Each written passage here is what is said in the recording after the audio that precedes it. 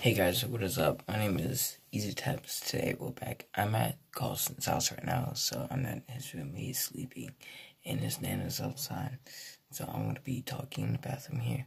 So this is kind of weird for me. So I usually don't use videos at Carlson's house.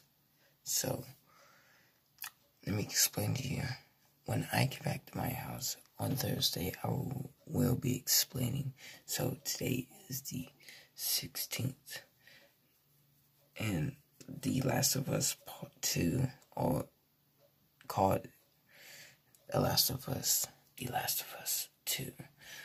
I am going to be going over the entire story playthrough of, not playthrough, but I'm going to explain you one by one what happened in the very first game, ending. I know what's going to be happening now in The Last of Us 2, Part 2. I know what happened. I know the game hasn't been out yet until the 19th, but I already have leaked video footage. I have watched a three hour video that has been taken down just now about everything that went down. Now, luckily, this is no spoiler. I'm not going to tell you main events that's going to be happening. I am going to be telling you what's going to be happening in